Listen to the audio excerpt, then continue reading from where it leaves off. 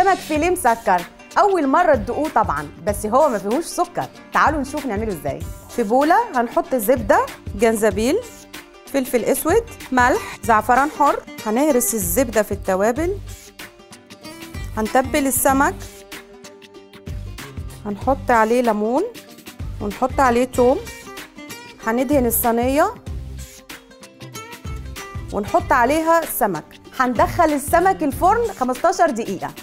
هناخد طاسة نحط فيها زبدة نحط البصل جوليان والزبيب ونقلب.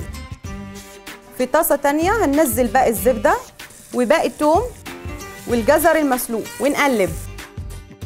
وبعد ما طلعنا السمك من الفرن هنبتدي نقدمه.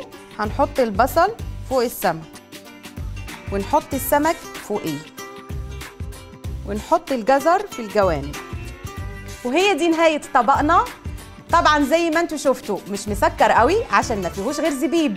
أشوفكم على خير ويا رب السمك يعجبكم. باي باي. كل وصفاتنا تجدوها حصريا على موقع الوصفة دوت كوم.